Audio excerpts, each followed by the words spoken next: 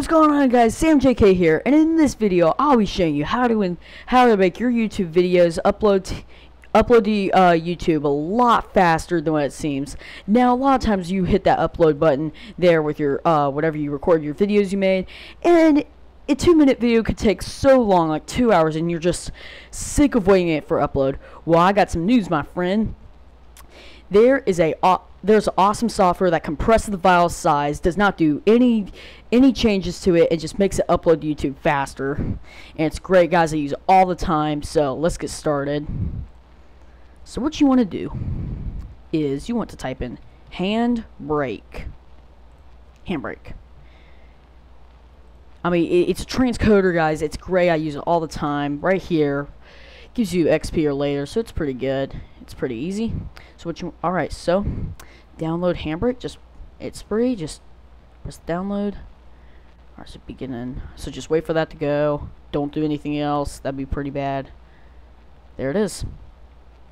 It's downloading.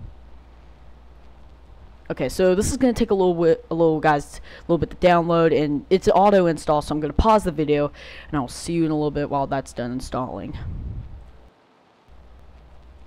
Alright guys, got that all done. Now what we're here is Handbrake. This is a transcoder that can make your videos a lot faster upload, compresses the size so it doesn't, instead of a gigabyte if it's that long, it instead will be maybe 500 gigabytes or 400 or lower and it does nothing to your quality, does not change it whatsoever and just does nothing. It's a great tool. So what you have to do first to use this is first you gotta open your source Let's go to you open folder or open file. I'm just gonna yeah, I, I think I'll open the file. Now, I'm not going to be using, I, I don't have any videos right now that I'm going to be using, but I do have videos on my computer that I can use as a test. So let's look for some. Let's go to here. Yeah, here's a lot. Here's a lot of videos. How about, so yeah, let's say for instance you wanted to do yeah, Imagine Dragons radioactive. So you just want to open that up. You'll just scan it. There it is right there. So now you have your source. What you want to do is right here. You want to probably turn the quality to maybe about 26 to 28. I'll do 27 right in the middle to make a little balance. So all you got to do is that.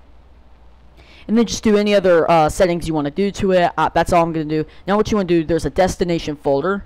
So what you want to do is you want to choose your destination. I choose desktop because it's easy for me to work with. So I'm just going to do that right here in the desktop and name it yourself. I'm just going to name it radioactive